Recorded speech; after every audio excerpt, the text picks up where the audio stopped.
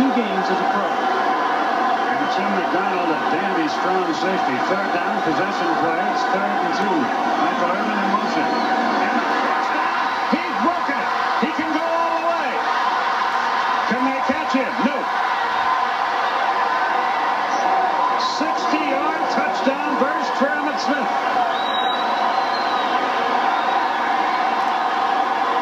And the Cardinals are stunned Dallas fans here. Listen.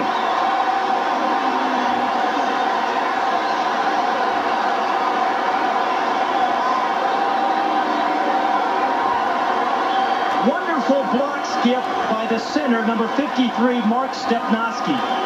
Right there in the middle of the screen. He just knocks Waller out of the way, and there's just a huge hole for Emmitt Smith. It was funny, Troy Aikman was saying yesterday, the one thing I didn't know about Emmitt Smith was what kind of speed he had.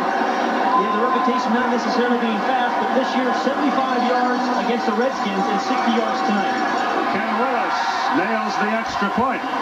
And the Cowboys, in three plays, get on the board. A 60-yard touchdown dash by Emmitt Smith. 7-0 Dallas. We'll be back to the Valley. Let's put the Cowboys up on top, 7 0 Remember in the Redskin game when he went 75 yards and then got sick. He had taken a, a drink before the game for dehydration, and he didn't handle it particularly well and wasn't much of a factor, quite honestly, after that long run. He said, I will never drink that stuff again.